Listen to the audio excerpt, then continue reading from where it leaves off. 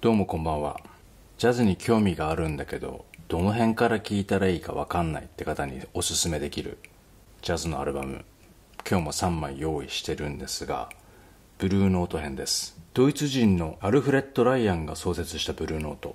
主に1500番台、4000番台とありますが、1500番台はより濃い感じで、4000番台はちょっとこう洒落てるというイメージが個人的にはあります。まあ、私自身全てのブルーノートを網羅してるわけではないのですが今までね聴いたレコードの中から個人的なおすすめを選んでみました。まず1枚目。ブルーノート1595番サムシン・エルスキャノンボール・アダレイ。1958年の作品です。まあこのジャケットよく見かけますよね。まあレコード屋さんでも見かけるし雑誌雑誌っていうかあの著書でも見かけますよね。おすすめされてます。やはりこのようによく見るジャケットっていうのには理由があると思うんですよ。だから私もよく見るジャケットのものから順次聴いています。でこれは、まあ、キャノンボール・アダレイがリーダーアルバムなんですがマイルス・デイビスハンク・ジョーンズサム・ジョーンズドラムズにアート・ブレイキー、まあ、ゴールデンメンバーですよね。裏返します。この1曲目の「 Autumn Leaves」まあ、これはスタンダードナンバーで、まあ、たくさんのアーティストが演奏していますがアレンジトーンこれ一番好みですこのアルバムの「オータム・リーブス」が。あと先ほども言いましたがキャノンボール・アダレイのリーダーアルバムなんですがトランペットのこのマイルス・デイビス。このマイルス・デイビスの存在感がすごくて、まあ、一部マイルスのアルバムように聞こえてしまうというそんなアルバムです。こっちキャノンボールアダレイです。本当大好きなアルバムです。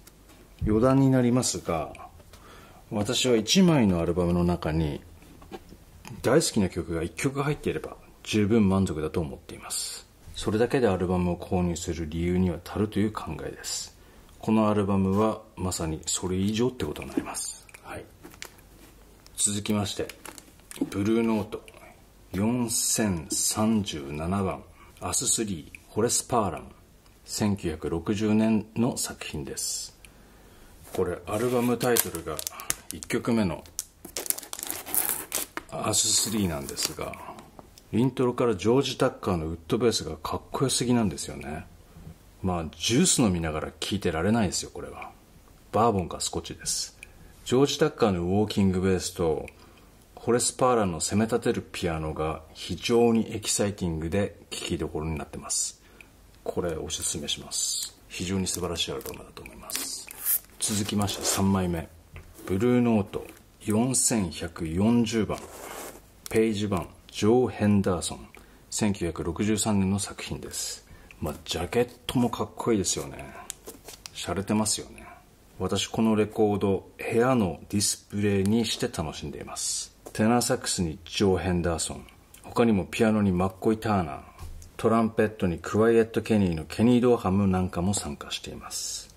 これ内容はですねもちろんハードアップなんですがボサノバのリズムがあったり非常に洒落た内容で聴きやすいアルバムなんじゃないかなと思います。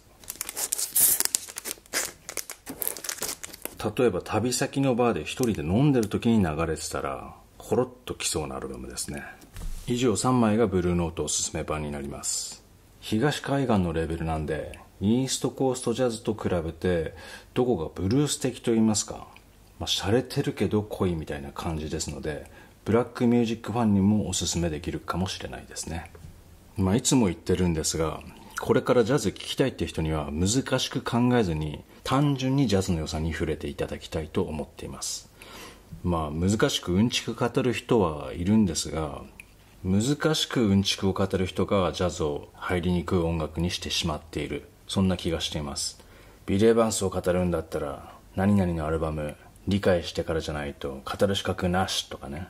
そういう人も中にはいますが興味がある人にはね優しく教えてあげればいいだけだと思いますこれから若い人たちにもねたくさんジャズの良さを伝えていきたいと思っておりますので引き続きお付き合いいただけたらありがたく思いますそれでは最後までご視聴ありがとうございました。また後ほど。さようなら。